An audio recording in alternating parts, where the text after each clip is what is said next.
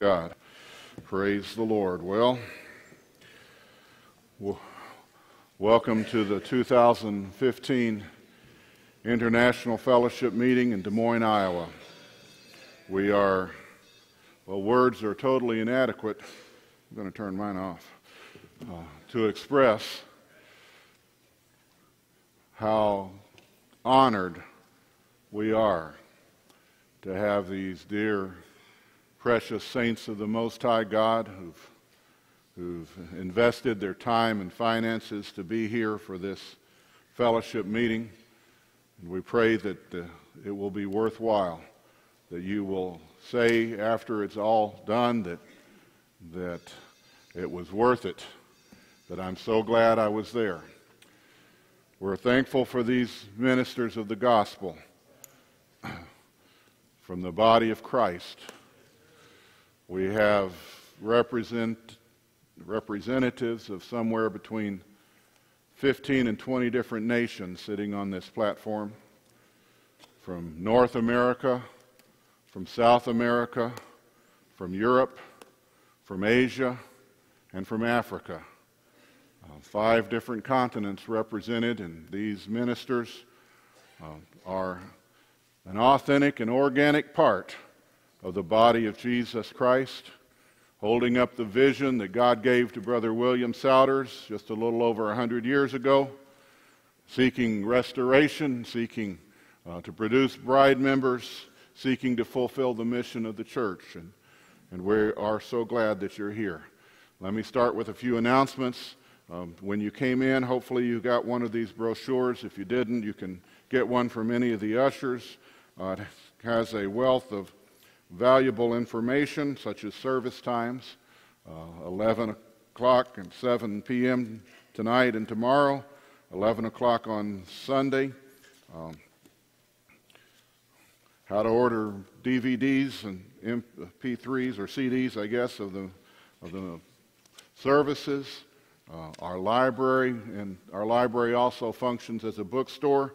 We have some books for sale there. There's some others who have brought some material for sale, including we have some Bibles, and we only sell quality Bibles. If you want a, a cheap Bible, that's fine. You can get them at bookstores everywhere, but you can't find good quality Bibles anymore. Very, very difficult. Oxford quit printing them.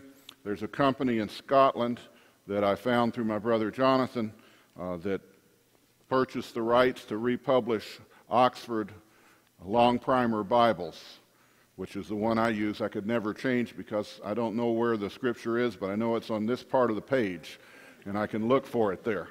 Um, and people who get used to the Cambridge Bibles get to be the very same way. They know where it is, and they look for it. We also have Cambridge Bibles. Unfortunately, Cambridge has stopped uh, printing the Cambridge presentation, the nice size Bible. Uh, they won't print them anymore. I don't know why. I think it's because people generally, Christians generally, aren't willing to spend the money to get a nice Bible. But they'll sure spend it on a boat or an SUV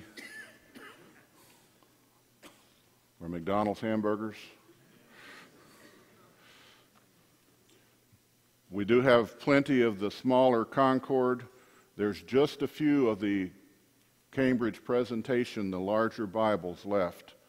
We have a few in there because they're no longer printed. The, the nicest ones, the goatskin ones, if you can find one on the internet, I've seen them priced as high as $800 because they're rare. You just can't find them.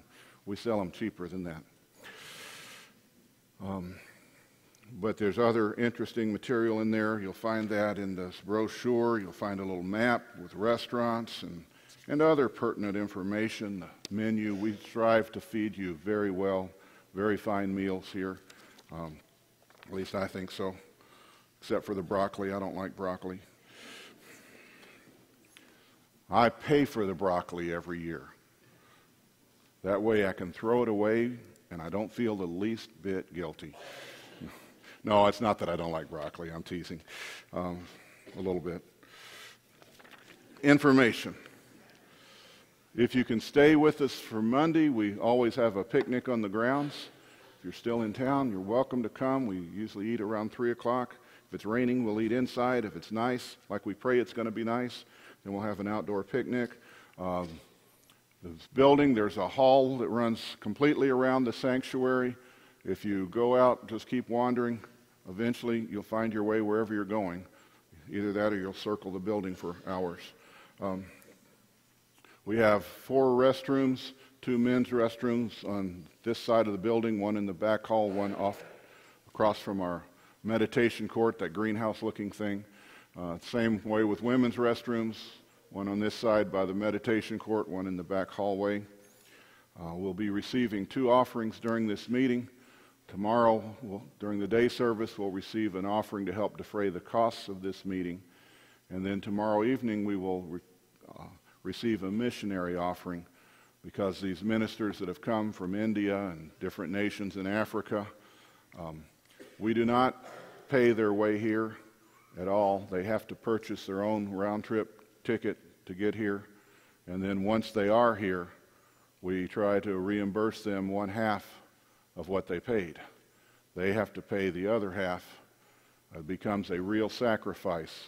If you're living in a country that has a very poor economy like Zimbabwe, it is a big sacrifice to come to this meeting. And we're honored that so many of these ministers are willing to make that sacrifice. Because it costs them something, they appreciate what they have. We don't send monthly checks. We have hundreds of churches overseas that look this way, and we don't send financial support to one of them, not one. But they build their own buildings. They start out humble, but over time, God blesses them. And very poor people who have nothing are taught to tithe. And there's a principle of God that He blesses people who put Him first. And it doesn't matter whether you start out wealthy or start out poor. You start out by giving to God. God blesses people for that.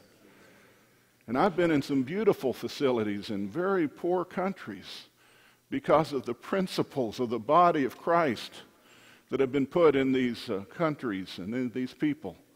They build their own facilities, they're beautiful, and uh, God has blessed them. But we do ask you to help us in the missionary offering Saturday night to help defray just part of the cost of having these ministers here. And then uh, inside the back cover of your brochure, if you got it, uh, there's a picture of a mountain and a little plastic bag stapled on there. And there's something in that little bitty plastic bag. I doubt that you can see it. Um, but when God's involved, something small can be transformed into something great. I've got a mustard seed in each one of these bags. I bought these mustard seeds in Israel and brought them here to give to you. Don't say I've never given you anything. You can see it's pretty tiny. It, a single seed looks very insignificant. What does a mustard seed have to offer? You think it's very valuable? If it's very valuable, I probably wouldn't have given you each one. Does it look like something you can really rely upon?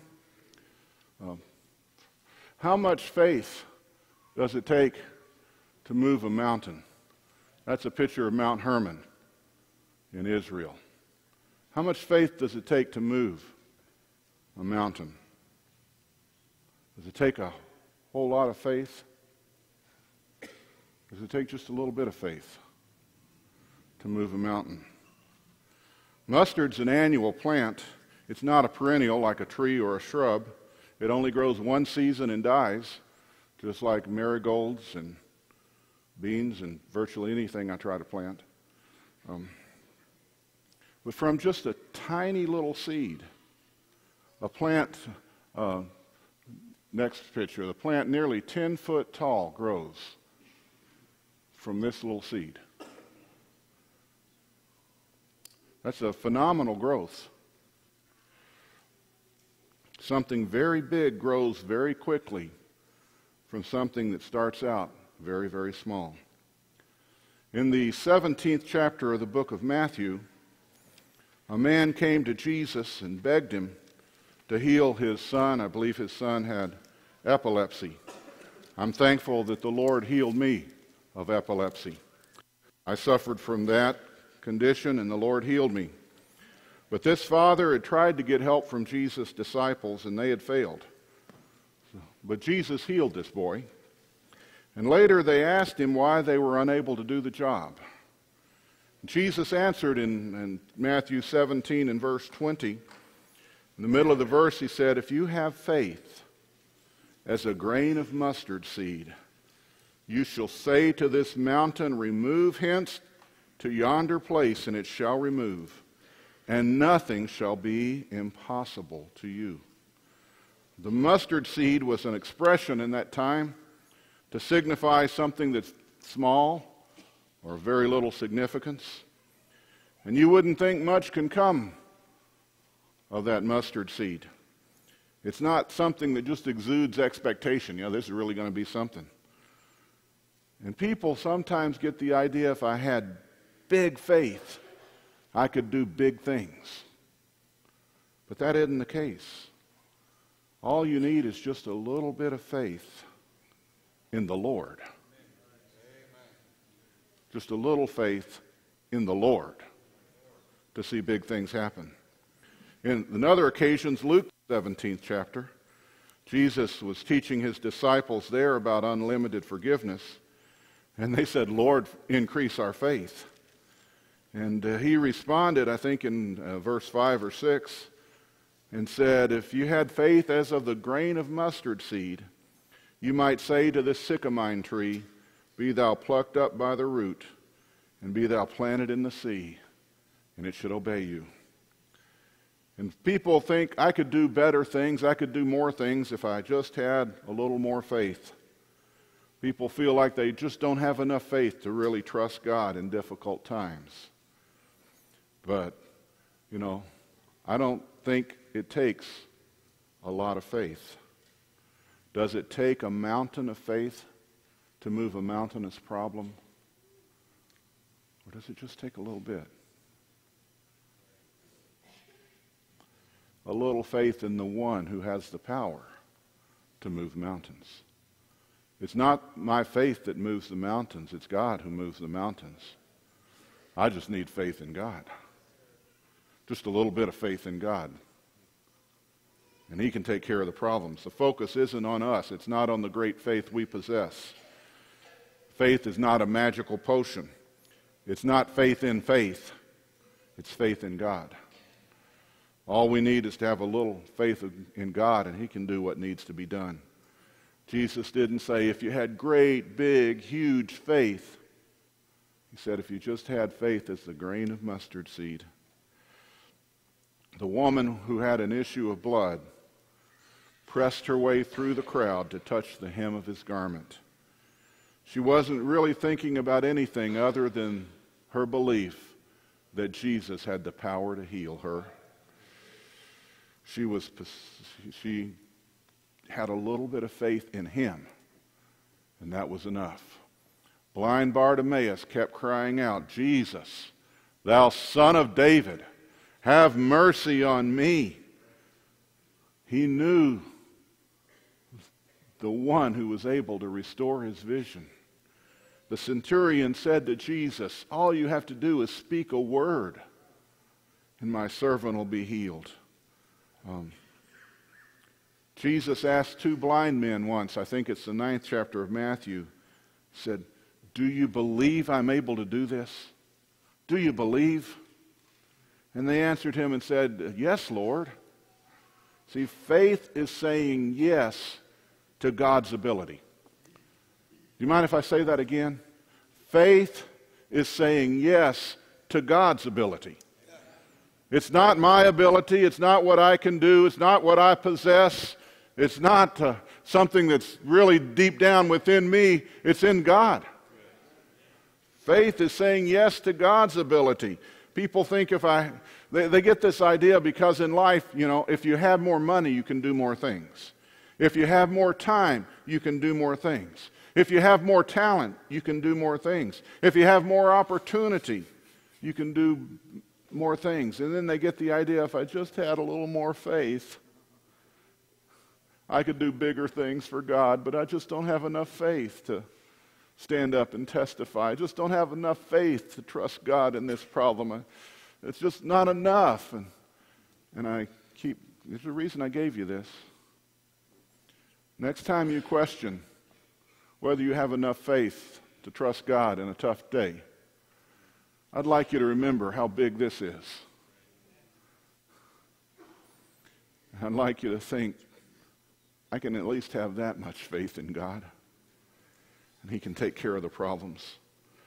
It's not the size of the faith, it's the one the faith is directed to. In Hebrews, Paul said we have to believe that He is and that He is a rewarder of those who diligently seek Him. David didn't say, Because I have great faith, I can do these things, but he said, By my God, I can run through a troop. By my God, I can leap over a wall. Uh, he one time said, Through our God we shall do valiantly. And the Apostle John, in 1 John uh, 5, he spoke about the faith that overcomes the world. It's not some big, powerful, massive, all pervading faith. It's the simple, easily overlooked concept that God will do what he said he would do. It's not based on what we feel. My faith is based on who I know. Not really asking us to do great things. It's asking us to trust a great God. And so, a little bit of this will move mountains. As I said, we're so glad you're here. We're hoping that through a little bit of faith in God, the Lord will meet with us in this meeting. Uh, I was at the Houston meeting earlier this year, and the Lord's presence there was so real and so deep. It was intense. But it wasn't just a thrill or he wasn't just pouring out a blessing, but there was the presence of God in that meeting drawing a people into a closer walk with Him. We have to lose some of our own carnality in order to have room for more spirituality. We have to lose some of our worldliness in order to have room for more godliness. Uh, there were many who, in that Houston meeting, heard music and singing that wasn't coming from earthly voices, wasn't coming from earthly musical instruments. Maybe it was a sound from heaven. But I'd love it if the Lord Himself or the angelic hosts would blend into worship with us over these next several days. Wouldn't it be awesome if they joined us in worship? There's a scripture in the third chapter of uh, Zephaniah that I've been using a lot lately. Zephaniah is near the end of the Old Testament, right after Habakkuk, right before Haggai. Um, and the third chapter of the book of Zephaniah. Um, in verse, let me see, verse 14, it says, Sing, O daughter of Zion, shout, O Israel, be glad and rejoice with all the heart, O daughter of Jerusalem. There's something for us to do. We're to sing and we're to shout. We're to rejoice in the Lord. But then down in verse 17, it says, The Lord thy God in the midst of thee. And uh, if the Lord will come in our midst, the Lord thy God in the midst of thee, he is mighty. The Lord thy God in the midst of thee, he's the one who's mighty. He will save. He will rejoice over thee with joy. He will rest in his love. He will joy over thee with singing. Wouldn't it be awesome if somehow of what we are doing this weekend here in Des Moines, Iowa, those of us who've gathered here, would bring such a, a joy to the Lord that he would begin to rejoice over his people with singing. Uh, I would like to experience that, not just for the thrill, but I would like to feel that drawing of the Holy Spirit of God, drawing us to a closer walk with Him. I'd love to hear the Lord singing in, in the midst of His people. In many scriptures, it's biblical. There were sounds. On a day of Pentecost 2,000 years ago, there was a sound from heaven like of a rushing mighty wind. Uh, there was a time when David in 2 Samuel was fighting the Philistines. And he asked the Lord, Shall I go up against them? And the Lord said, No, you circle around behind them and you wait. But you'll hear the sound of a rustling in the mulberries. And when you hear that sound, I don't think that was just the east wind blowing. I think that was God from heaven making a sound that they were attuned to. They were listening for a sound because when that sound came, there was victory in the camp. There was another time later in, in uh, 2 Kings, the seventh chapter, when the, uh, the, uh, the, our adversaries of the Lord had, had uh, besieged the city, and the enemies heard a sound of marching and chariots. And they said, Oh no, these Jews have hired the Egyptians and the Syrians beyond the river, the Hittites beyond the river we better hightail it out of here. Uh, because there was a sound that they heard that wasn't originating from earth, and it caused the enemies to flee. There was another time, I just love these instances. There was a time when Elisha and his servant were surrounded in the city, and it looked like it was all over. And Elisha said, Lord, open this young man's eyes. And when his eyes were open, he saw the chariots of fire, the chariots of God, all around that city. Uh, wouldn't it be awesome if the angels of God would sing in a way that we heard it here on earth? If we could see the chariots of God, uh, again, not just for the thrill, not just for a memorable experience but something that we can receive in our hearts as a call from heaven to surrender more to the Lord and to draw into a closer relationship with Him. And hopefully, we can hear what the Spirit is saying to the churches. Uh, we can see what God is, is wanting us as a body to do. In every meeting in the body of Christ, I believe there can be heavenly direction. Uh, and I'd like to uh, ask the Lord to help us to recognize what we need as a body in order to move into the future. The healing in the body of Christ has been awesome. It has been amazing. I just, just am overwhelmed at what the Lord has done uh, in the last, what, 15 years? I don't know, something like that. It's just awesome. It's amazing. But there were men who came to David, and some came to him in Ziklag, and some came to him in Hebron uh, with a heart to help. Some were, were men of war, they could keep rank, uh, they could use a sword in either hand. But the smallest number that came, and I'm referring back to 1 Chronicles, the 12th chapter, were the men of Issachar. In 1 Chronicles 12 and verse 32, there was 200. But there was something very special about these 200. It wasn't so much their ability to handle a uh, sword and a shield, but it said the men of Issachar had an understanding of the times to know what Israel ought to do.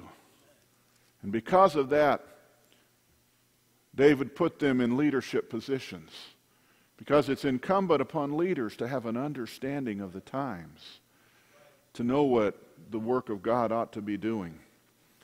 And I'm not claiming any position, I'm not claiming any right or authority to give direction to the body of Christ. Please understand me. Jesus is the head of the body, and, and we have a platform here full of servants and a congregation of servants of the Lord. But we're all seeking to understand what is our master's will. One thing I've had to learn is that the servant doesn't tell the master how he's going to serve him. I've had to learn that. Too many times in my life, I figured out how I was going to serve God. I had it all worked out. You know, I was practicing law. I had a six-figure income. I was going to do this. I was going to do that. And I was going to serve God this way. And the master doesn't let the servant tell him how he's going to serve. The master tells the servant what to do.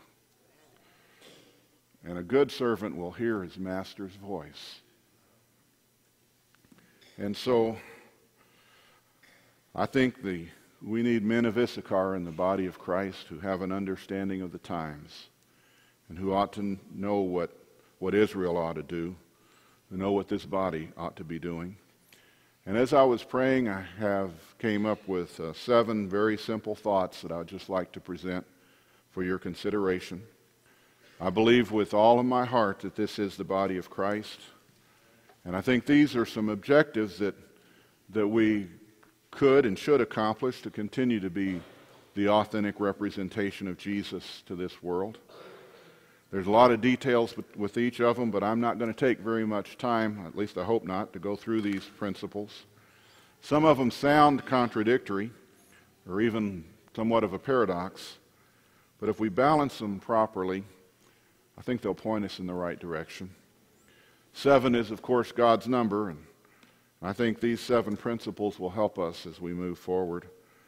If we're going to be who we think we should be and who we believe God's called us to be, then we need godly biblical principles to guide us. Number one, this movement must become stable without becoming rigid. This movement must become stable without becoming rigid. The simple, undeniable fact is that this body became unstable after the death of Brother William Souders. Splits and divisions have been our legacy for over 60 years. We have preached the unity of the Spirit and the bond of peace, but we've divided over doctrine. We've divided over leadership, over direction, over other matters. But we've lived to see the healing of the body, and that's a miracle. A healed beast necessitates a healed body. But we have to decide that we are fully committed to this healed body. We can't stand by on the outer periphery, keeping our options open, ready to walk away if we don't like what's happening. If we think, well, let me say it, if this is that, that we think is it, then we need to get all the way in it. If this is that, that we think is it, then we need to get all the way in it. And our ministry has to be like the 12 oxen that bore that brazen laver. They had their hinder parts inward and could stand shoulder to shoulder and carry the work of God. We need to pledge not to separate, not to spoil one another's houses, not to sow discord among brethren. We have to be stable, but we can't become rigid. Babylon is rigid. Babylonish organizations are very rigid. And if we build a man made cart for the Ark of the Covenant, we'll lose our standing as the authentic body of Christ. It's going to take a balancing to consider. How can we become stable without imposing some kind of rigid order that is foreign to the body of Christ? I don't have the details. I'm just throwing a seven things out there. There's a lot more I could say about this, but I want to, to go on. But we as a people have to be stable without becoming rigid. Number two,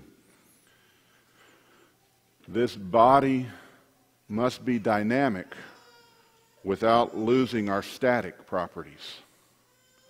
must be dynamic without losing our static properties.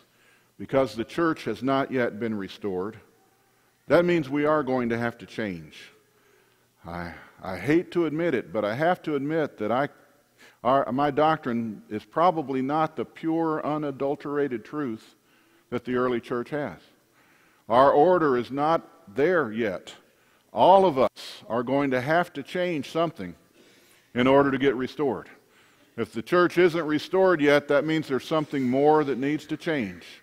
We have to be dynamic enough to change, uh, to get back to perfect New Testament order and message. Change is necessary, but you know, nobody likes to change.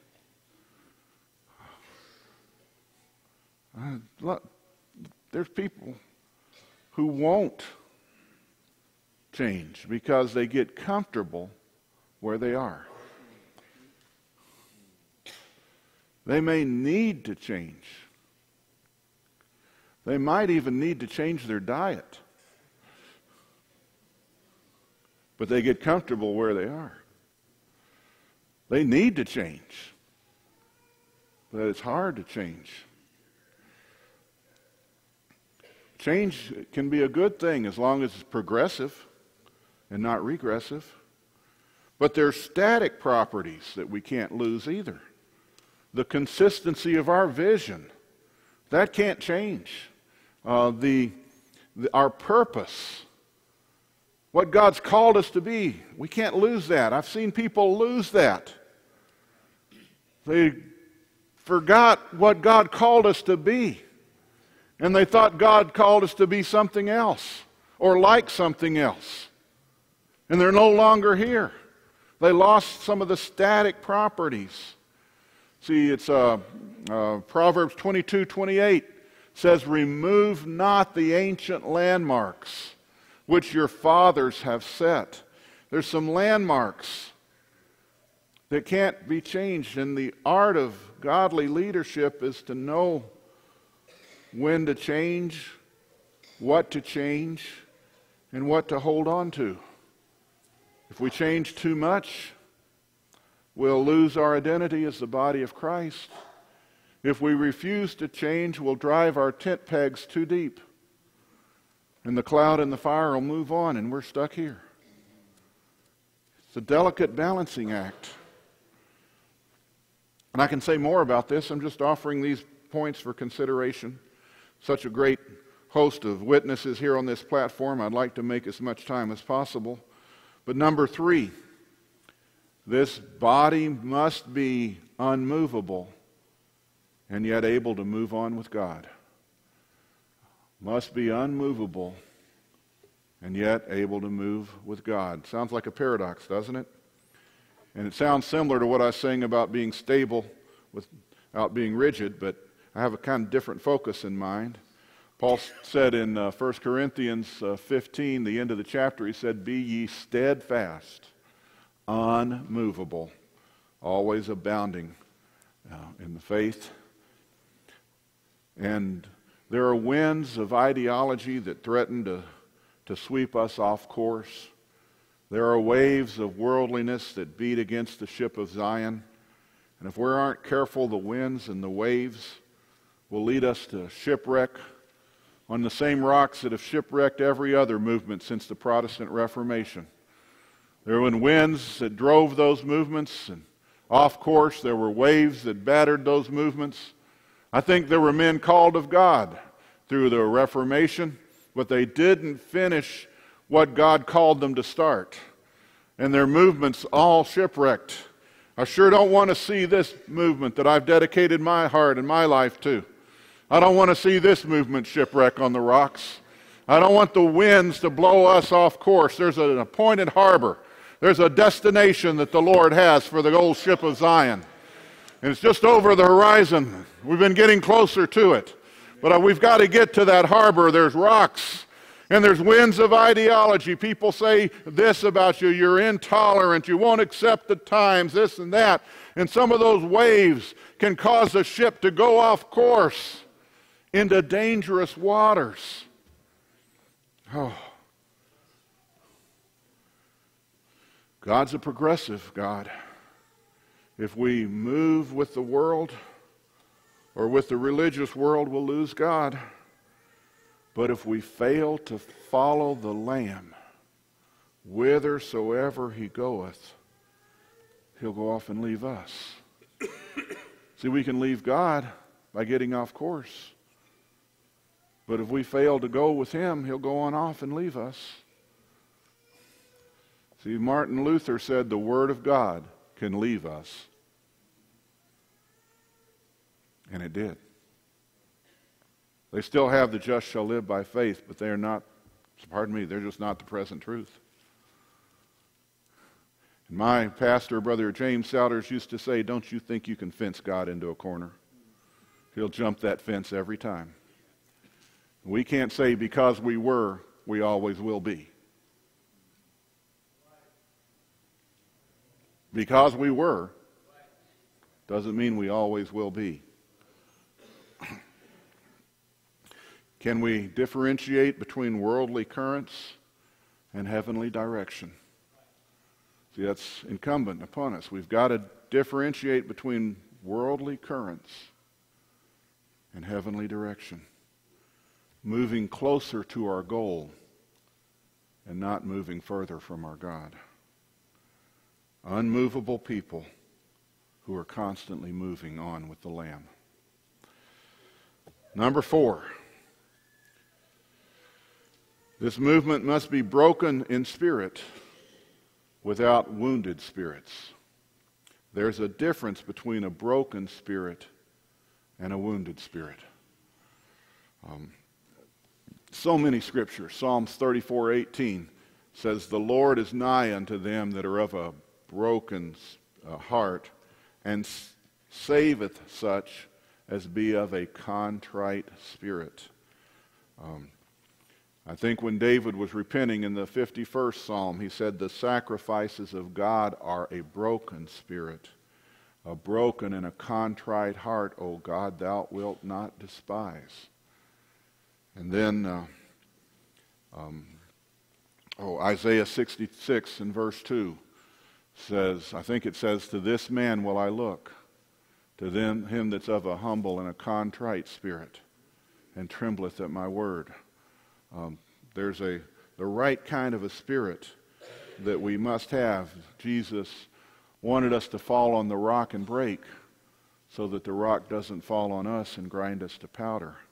Um, the proud, unbroken spirit of man is not what the Lord's looking for from us.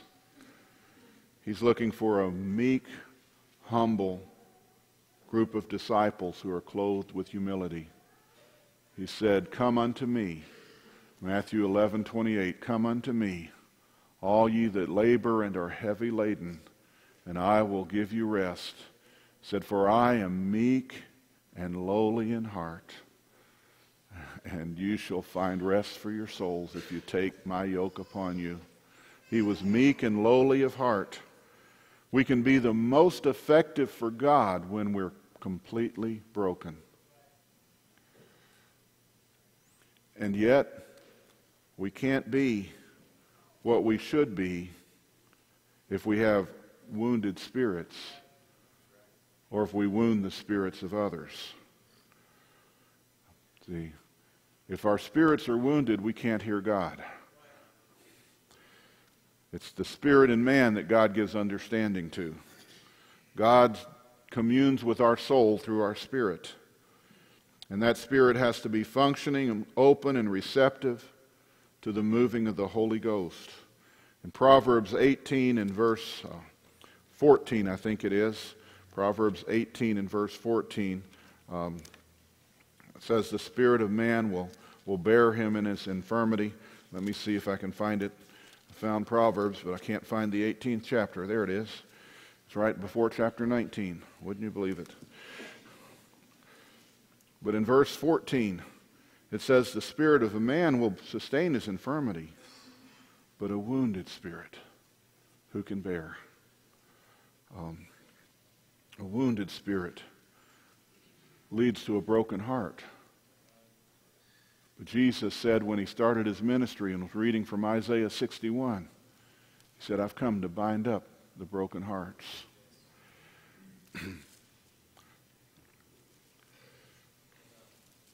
Wounds to our spirits come from negative words, from painful events. They come from some violation of our person or our rights. Something crushes our human spirit and leaves the person in emotional pain. We have to have a broken and a contrite spirit, but we can't have a wounded spirit or a broken heart. And we can't inflict those wounds on others. Not if we're going to be what we want the Lord to make this body.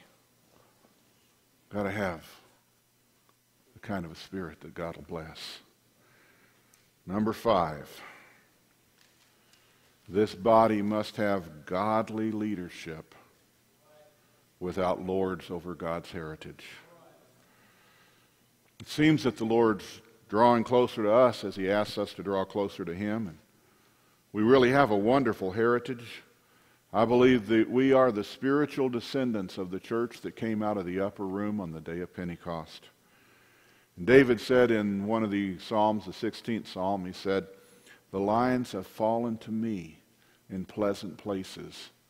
I have a goodly heritage. We appreciate our heritage, but we need assurance that the Lord's leading this body, still leading this body on and that it's still connected to the head, and that He will lead us into the future. I want to take just a couple of minutes, if you will allow me, in the early chapters of the book of Joshua, uh, right after Deuteronomy. Go to the first chapter of the book of Joshua. And in the, the fifth verse of the first chapter, the second half of that verse, the Lord told Joshua, He said, As I was with Moses, so will I be with thee.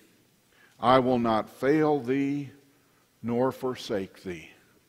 And I'm looking for the Lord to assure a people that as he was with, and I'm not just looking to some of our prior leadership from a few years ago, but I believe that I'd like the Lord to assure us that as I was with the Apostle Paul, as I was with Peter, as I was with Thomas and Andrew when a church came out of the upper room. So I'm going to be with a church in these last days. I'd like for us to connect back to that heritage and have a great uh, uh, assurance from the Lord. This was tremendous for Joshua, but there were conditions. If you read uh, the next few ver- verses 7 and verse 8, there were certain things that he had to do. Uh, you know, keep the law. But he ended up in the end of verse 8 saying, Thou shalt have good success. That's the only time the word success is found in the King James translation of the Bible. You can read all cover to cover, and the word success only shows up one time. But if Joshua would do what the Lord asked him to do, he assured Joshua, You'll have success. And if we'll do, I feel like if we'll do what the Lord's asking us to do as a body, I feel like we're going to have success. Uh, and the important point is that Joshua needed to know that the Lord was going to be with him, like he had been with the prior leadership. And I think we need heaven's assurance that he's going to be with us like he was the early church. And uh, the third chapter of Joshua, in verse 7, the Lord said unto Joshua, This day will I begin to magnify thee in the sight of all Israel, that they may know that as I was with Moses, so I will be with thee. A new generation had come on the scene in Joshua's day. The prior generation had died off because of their unbelief. Uh, it was gone. They had not seen them, these people had not seen the miracles in Egypt or barely remembered them. They had not seen the parting of the Red Sea, they'd heard about it. Uh, in Joshua chapter 5 and verse, uh, verse 6, for the children of Israel walked 40 years in the wilderness till all the people that were men of war, which came out of Egypt, were consumed because they obeyed not the voice of the Lord, unto whom the Lord sware that he would not show them the land which the Lord sware unto their fathers to give us a land that flowed with milk and honey. The generation was gone. And there were men and women who had not seen God part the Red Sea. But you know, when God began to magnify Joshua, they saw God part the flooded Jordan River. And the same God who'd parted the Red Sea before, he could part the Jordan River in their day. Another thing happened um, that in the fifth chapter of the book of Joshua, he needed this. In verse 13, he sees a man with a sword drawn in his hand. And he walked over to him and basically said, Who are you? Are you for us? Are you for our adversaries? And he said, Nay. He said, But it's the captain of the Lord's host. Uh, I, I believe that was a Christophany. I believe that was a, a, a pre first advent appearance of Jesus Christ. I think he's the captain of the Lord's host. Uh, that's who. And uh, and Joshua bowed down and worshiped him, and the angels don't let you do that. John tried that in the book of Revelation. The angel said, See that thou do it not.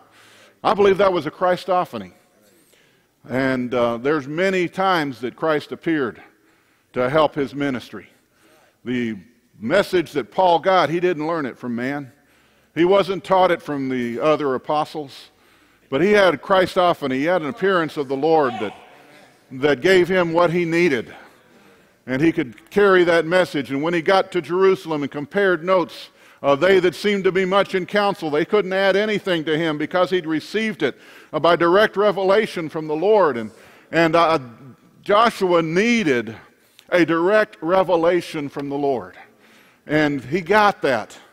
Uh, I really believe, brothers, saints, that this body needs some direct uh, intervention. I'd like to see a Christophany. Not necessarily for me, but I think we really need Christophany in order to get us to the point where we need to be. I can argue with Brother Brown about whether you move out a live soul or not, but I don't think either one of us is going to argue, argue with Jesus Christ. If we could get the truth from the man who is truth, Paul did. I know Paul was a great man, but I believe there has to be great people in these last days for this church to be what the early church was. There has to be a connection. Like God was with that early church, He's got to be with the latter church.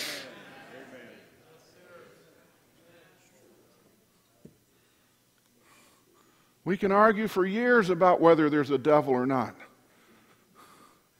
But somebody knows.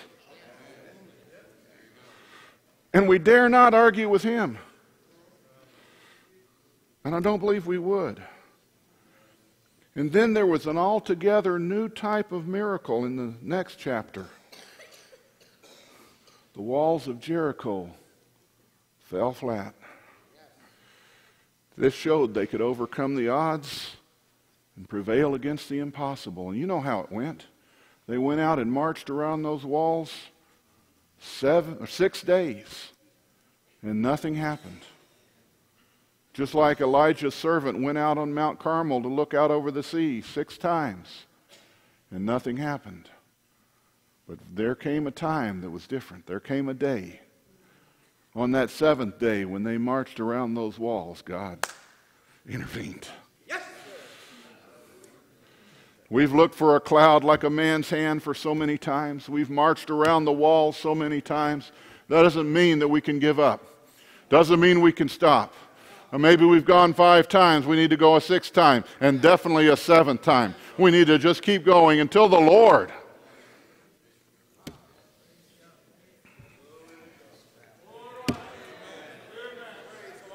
shows us that He's ready for us to go into His promised land. And there is a promised land where milk and honey flows. There is a promised land for His people. But we need some divine intervention. And we need godly leadership. And leaders lead. Shepherds lead sheep from the front. Cowboys drive cattle from behind. We need shepherds. We don't need any cowboys.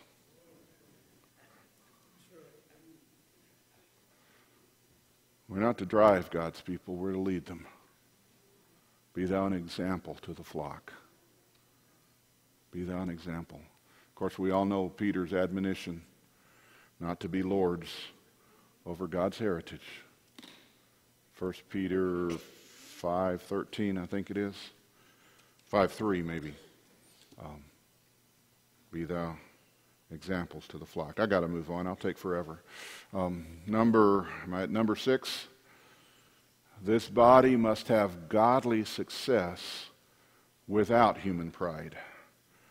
As the Lord draws us closer and makes bare his holy arm, we're going to have to be ever vigilant against the deadly sin of pride. If we get proud of who we are or what we do, we will lose God. And yet we must have success. The early church had great successes. And the Lord's going to vindicate some people as his own, as his own private treasure. He'll manifest himself to that people with signs and wonders and spiritual victories. But whatever the devil is, he always tempts the successful to fall into the pit of pride. I'm not going to cite a whole bunch of scriptures about pride, overcoming pride, condemning pride. You know they're in there. But however you interpret the two witnesses of Revelation 13, whether it's a historical church through a wilderness for 1260 years or whether that's still a future prophecy, either way, they're clothed in sackcloth. And the represent, representation of the Lord's body has to be clothed in sackcloth. have to be clothed in humility. If you really expect God to stand with you, you can't say, look what we've done. Look who we are. God's with us. God's not with them. You know.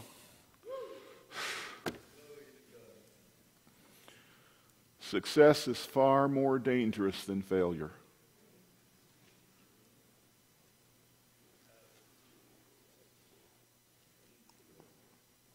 Success is a very dangerous position.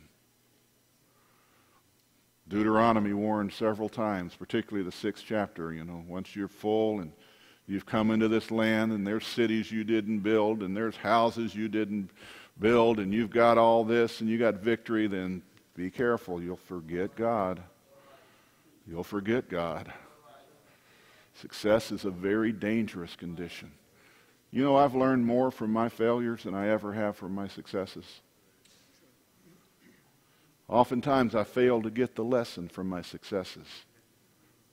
But you let me really mess up.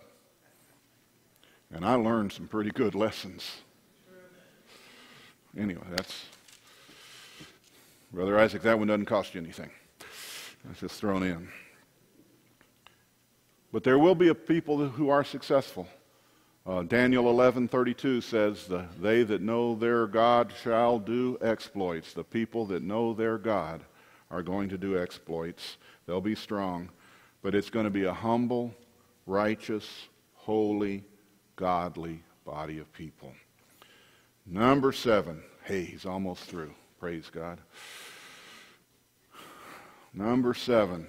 This movement must have power with God and not just the power of God. I've heard Brother Gary Wright talk about this.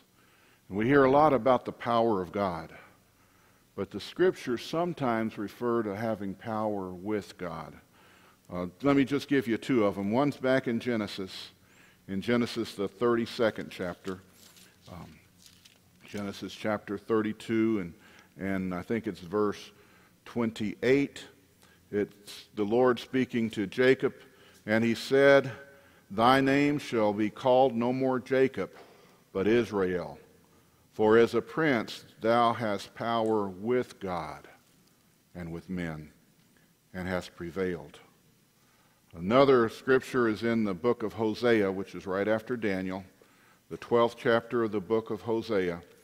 It's probably referring back to this this very incident, but it says in Hosea 12 and, and verse 3, speaking of, of uh, Jacob, he said, He took his brother by the heel in the womb, and by his strength he had power with God.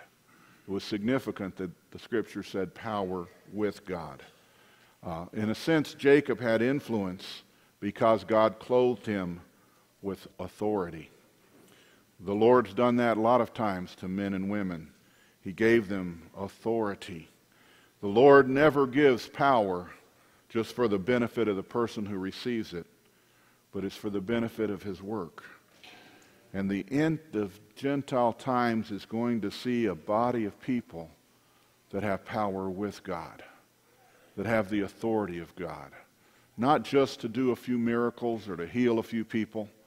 You may see that happen in Babylon. Doesn't mean they have power with God. They may have experienced the power of God. Uh, but that doesn't mean they have power with God. Uh, there have been times that even uh, all kinds of people who've had experiences with God. Even Saul, when he was trying to kill David, began to prophesy. That doesn't mean he had power with God. It just meant he was experiencing the power of God. And, and God expects us to be good stewards of, of the resources he's given us, but he also expects us to be good stewards of the authority he places in our hands. We're not looking for the trappings of power, but we're earnestly seeking the power of God and power with God. We need power with God in our lives and in our churches if we're going to be who we believe this body's going to be. Um, authority, authority over devils, authority over diseases, authority over the work of God, authority to bind heaven because you bound something on earth. You think every religious group out there has that? No, but there's going to be a body that does. Not just the power of God, you can see that in three score queens and four score concubines. You can see that in the virgins without number. But actual power with God. And sure, power can be misused. So can money. So can musical talent. So can every good gift from God. But the fact that some people have misused God's authority or misused God's talent or misused God's money doesn't mean that we should be prevented from what God can give us if we'll use it right. If we keep a broken spirit and shun human pride, I believe we can draw so close to the Lord that he clothes this body with his authority. So I'm through. Let me conclude. If this wonderful body, can you put those seven things back up? If this wonderful body can become stable without becoming rigid. Well, I can't even read that. I've only had seven eye surgeries, have another one coming up next week. It'll only be eight, but anyway. Um, but if we can become dynamic without losing our static properties, if we can be unmovable people who are moving on with God, if we can be broken in our spirit without being wounded or wounding others in their spirit, if we can recognize godly leaders who refuse to become lords over God's heritage, if we can handle godly success without human pride, and gain power with God and not just the power of God. And if we can have just, just a little bit of faith in God, I believe we'll march forward to the destiny that the Bible depicts for the true church of our Lord Jesus Christ at the close of Gentile times. Again, thank you for being here. Brethren, this pulpit is as open as we can make it. There's a lot of good gifts of God here. I hope we are able to hear from many that we can mingle our wine and get a lot of benefit from a lot of different sources. Most of all, I pray that the Spirit of God is here so rich that maybe the band can quit playing at times, and that doesn't, that's not a signal to stop worshiping. But because the power of God is here and His presence is here, that when the earthly music stops, we just keep on reaching out more and more, asking God to come in greater and greater. And who knows, maybe the Lord our God in the midst of thee will rejoice over thee with joy and rest in his love and joy over thee with singing. Wouldn't that be awesome? So God bless you all. Can we have a chorus here or something? Thank you, thank you, thank you. God bless you. Amen.